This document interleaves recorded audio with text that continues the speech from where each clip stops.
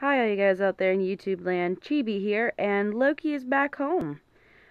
Unfortunately, her face up really didn't turn out as I intended, and, um, hmm, just bad experience with this particular face up artist. I mean, it wasn't horrible. The face up is beautiful. It's just not what I originally pictured for her at all, or what I asked for, and, uh, just kind of really didn't come together the way I wanted it to. But I will say she's still very lovely.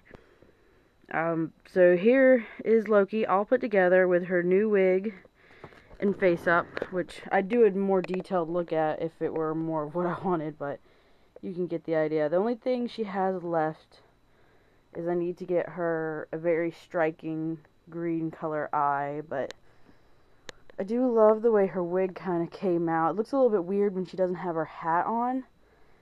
But I don't really plan for her to run around without it. so, but here you go. So Loki, uh, so Loki is pretty much minus eyes complete. Let's see if I can get a better. Sorry about the shakiness. See, you can really kind of, I don't know. Camera doesn't have a whole lot of megapixels, so you can't really see in detail how it came out, but